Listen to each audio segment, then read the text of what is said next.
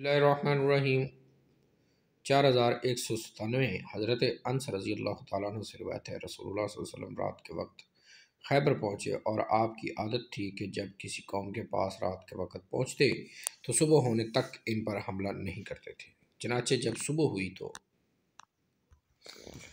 शहूदी कुल्हाड़े और टोकरियाँ लेकर बाहर निकले। जब उन्होंने आपको देखा तो कहने लगे, अल्लाह की कसम, ये तो मोहम्मद है और इनका लश्कर है।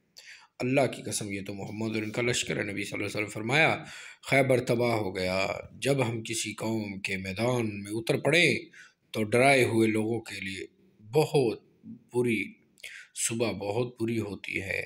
अब यहाँ पे अपनी फ़ौज का मुराल आप करने के लिए आप सल्लल्लाहु अलैहि ने ये इस तरह फ़खरिया जुमले जो हैं वो कहे तो इससे पता चलता है कि बाज़ का फ़खरिया जुमले कहना कोई गलत नहीं है, कोई इसमें कोई वो तकबर नहीं है। ये देखें ना, आप वसल्लम फरमा रहे कि खैबर तबाह हो गया।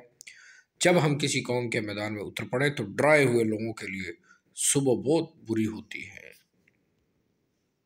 इसी तरह चार हज़ार एक सौ अट्ठानवे में है कि हज़रत अंस रज़ी से रिवायत है। उन्होंने कहा, हमने सुबह के वक्त खैबर पर हमला किया। इस वक्त यहूदी अपने कुल्हाड़े और टोकरियाँ लिए बाहर निकल रहे थे। जब उन्होंने नबी अलैहि वसल्लम को देखा, नबी सल्लल्लाहु को देखा तो कहने लगे, हज़रत मोहम्मद सल्लल्लाहु अलैहि वसल्लम आ गए हैं। अल्लाह की कसम, मोहम्मद लश्कर लेकर हमलावर हुए हैं।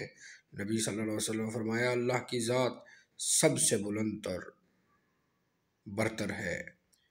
खैबर तबाह व बर्बाद हो गया। जब हम किसी कौम के मैदान में उतर पड़े तो डराए हुए लोगों की सुबह बहुत बुरी होती है।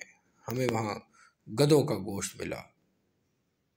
तो नबी सल्लल्लाहु अलैहि वसल्लम की तरफ़ से एक शख्स ने ऐलान करने वाले शख्स ने ऐलान किया, अल्लाह और उसके रसूल तुम्हें गदों के गोश्त से मना करते हैं, क्योंकि ये पलीद और नजस हैं।